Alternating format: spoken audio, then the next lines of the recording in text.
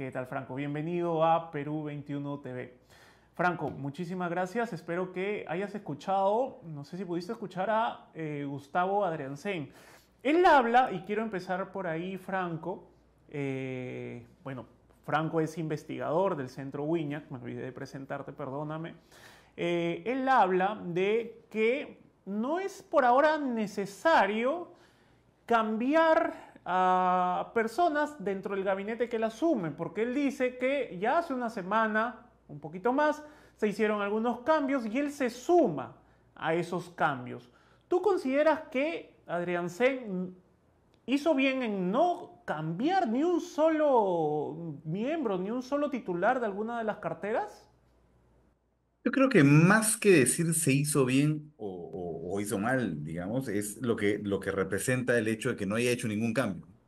Eh, acá estamos teniendo una situación atípica, que es cambio de primer ministro, pero ningún otro cambio, ¿no? Eso significa que es probable que la cuota de poder, digamos, o, la- la facción que representaba del gobierno, Otárola, se ha mantenido relativamente estable, ¿no?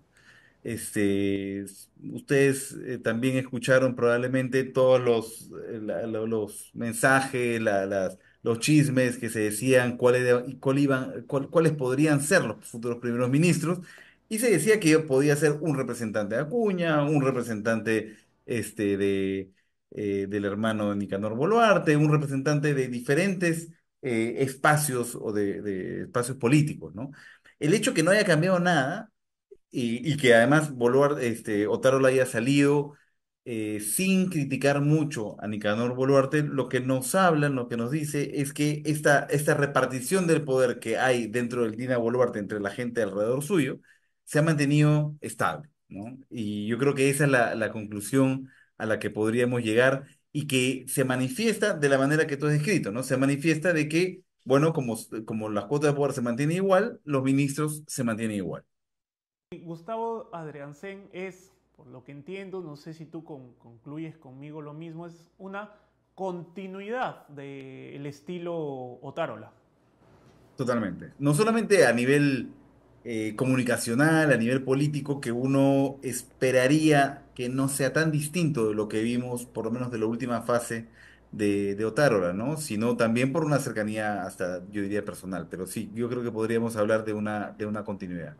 Y, Franco, eh, en el Congreso de la República, bueno, lo primero la bancada de izquierda, lo que van a comenzar a, hablar es el discurso que tuvo Adrián Sen y que ha hecho referencia ahora en su discurso, ¿no? Frente a, a lo que sucedió en diciembre y, y enero, ¿no? Las protestas violentas que todos vimos en diferentes regiones del país. Eh, lo ven a Adrián Sen como un defensor de Dina Boluarte. ¿Cómo crees que tomen esto la, ban- la bancada de izquierda? Seguramente con mucha hostilidad y con la misma hostilidad que tenían contra este Otárola.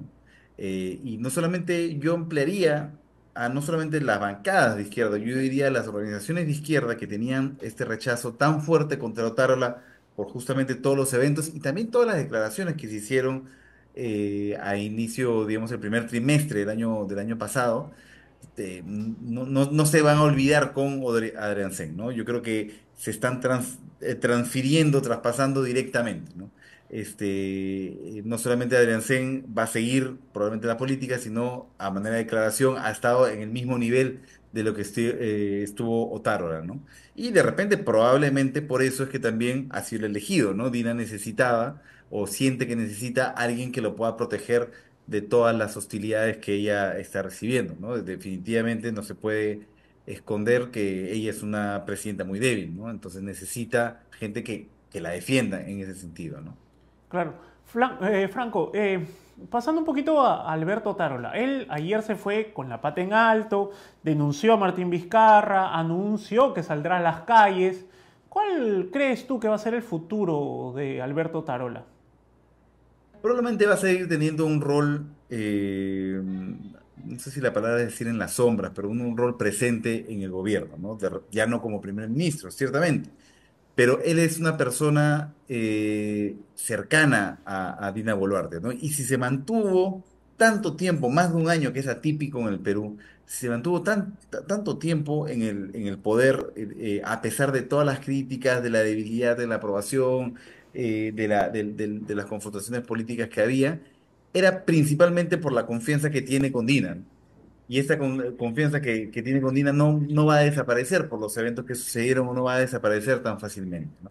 Entonces, eh, lo que yo creo que se podría esperar es una presencia no visible o no tan pública de Otárola, pero de, de todas maneras con un rol dentro del gobierno.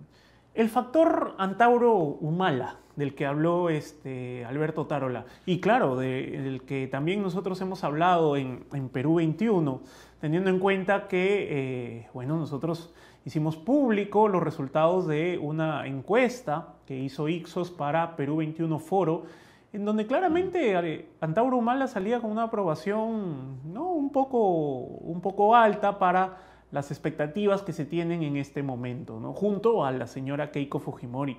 Eh, ¿Cómo ves? ¿Tú, ¿Tú crees que Alberto Tarola sea el personaje indicado para, como él ha dicho, para hacerle frente a, a Antauro Humala en una posible este, postulación a la presidencia? No, definitivamente, Otárola es muy difícil que pueda tener un futuro, vamos a decir, electoral. Este, probablemente, o, por lo menos como candidato presidencial o dentro de una plancha, ¿no? Pero podría tal vez tener en algún tipo de este, de elección de nicho, ¿no? Pero no una elección mayor. Y discursivamente mm, se me hace difícil pensar que también pueda ser una contraparte o un adversario para este Antauro, ¿no? Pero por otro lado también, eh, aprovechando lo que, lo que dices, ¿no? Antauro, eh, ojo que por el momento él tiene menos de la mitad de la que tenía previo a la caída de Castillo, como, como aprobación. Y, este, y, estamos hablando de menos del 10%, ¿no? Hay un, hay un núcleo, eh, vamos a decir, muy duro antisistema, eh, que sí, va a votar por él, pero no está convencido en este momento de votar por, con él, por él como lo estaba él hace dos años o hace año y medio, ¿no? Ahí estábamos hablando de un Antauro con dos cifras, con dos dos- dos dígitos de intención de voto, mucho más robusto, ¿no? Yo creo que Antauro, más que nada, está preocupado por lograr consolidar su candidatura en esta especie de, de, mm, eh, primarias de izquierda que va a ser la, la primera vuelta o que normalmente es la, la formación de las candidaturas y los partidos, ¿no? Bien, Franco, te agradezco por tu tiempo, muchísimas gracias por estar en Perú 21. Y gracias a ustedes, que estén muy bien, hasta luego. Bien, fue Franco Olchese, investigador del Centro Wiñac.